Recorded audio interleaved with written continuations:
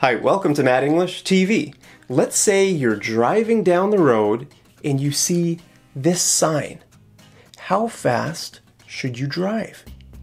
Well, probably 70, right?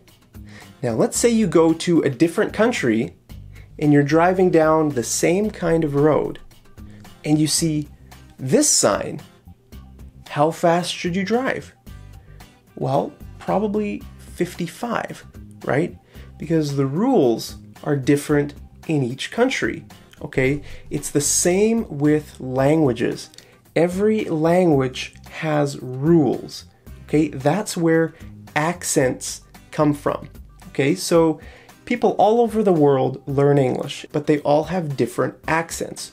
For example, a Russian person speaking English will have a Russian accent and an Indian person speaking English will have an Indian accent, and a Spanish person speaking English will have a Spanish accent. The reason they have accents is because the rules in their language are interfering with the rules in English. Okay, so let's take a look at an example of some English rules. Okay, so in English, we can have consonant clusters. These are called consonant clusters. What's a consonant? Well, in English, we have 26 letters, right?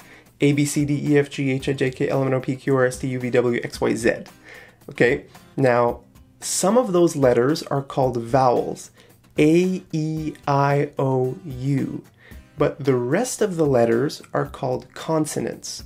Okay, so in English, we can have consonant clusters. Clusters means when things get bunched together, that's called a cluster. When you take two or three things and you put them together, you have a cluster, like a cluster of grapes.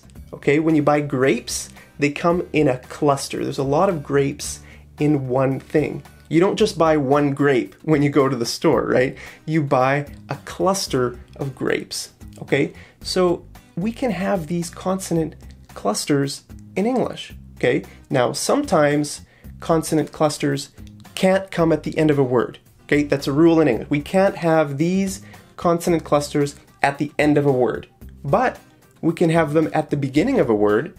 For example, strawberry, splendid, pray, drive, clap.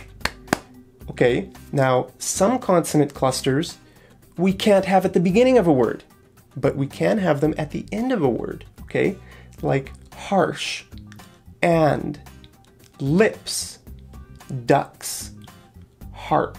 Okay, so here are some rules in English.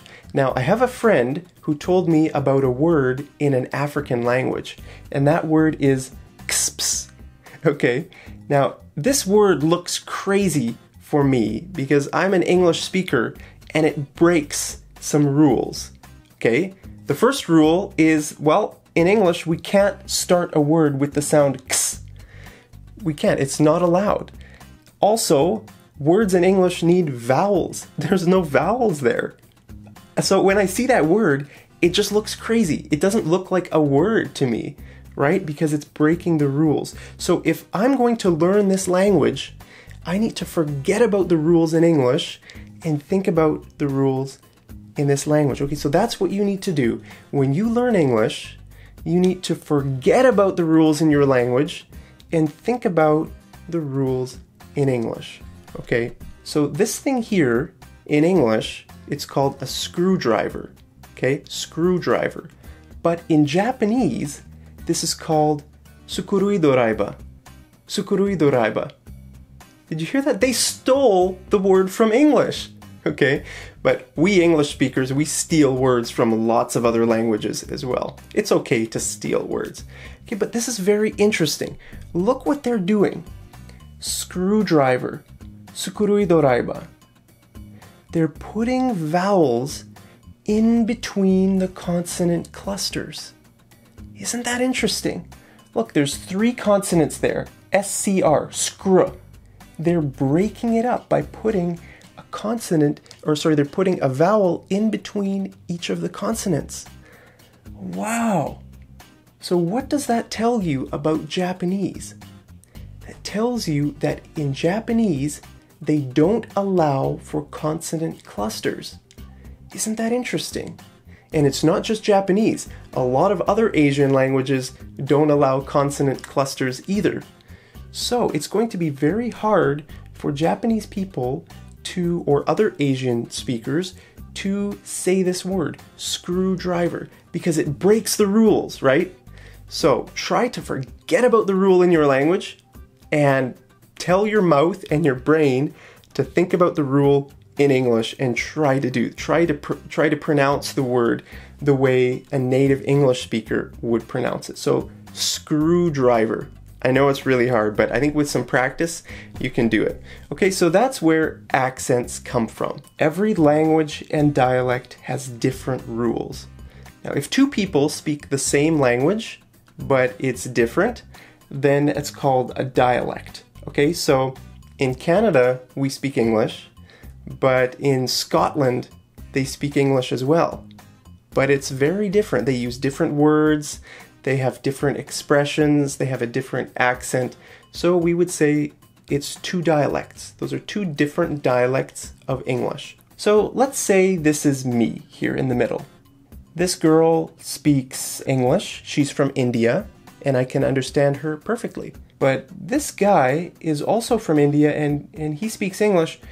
When he speaks English, I have a really hard time understanding him because his accent is so strong. Okay, this guy is from England. I can understand him perfectly. But this guy is also from the UK and I can't understand him at all because his accent is too strong. Wow. Okay, what does that tell you about English? Right?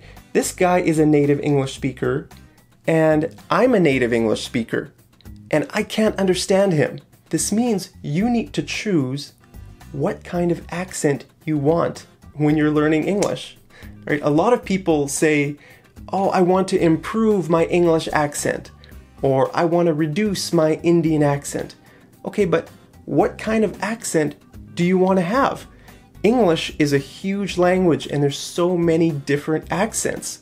So if I can't understand this guy from England or Scotland, or this guy from India, okay, then you need to really think what kind of accent am I aiming for? What do I want to have? So this word here in Canada would be pronounced radar.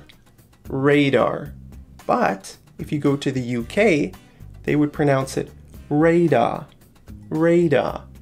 Okay, look, I'm saying this R and this R, but over here, they're only saying the first R. This R disappears. Why? It's because our accents have different rules. Okay, so I want you to think about your own language and tell me about something in your language that doesn't fit with English. Okay, I was talking to a Russian girl yesterday and she told me that the sound ng doesn't exist in Russian. You know, like in the word sing, sing, the last sound ng, she said that sound doesn't exist in Russian. So that's going to be a big problem for Russian speakers learning English, right? So that's an example of something that would be different between Russian and English. So I want you to think about something that's different in your language and post it down there in the comments. And I'll see you over in the next episode of Mad English TV. Take care.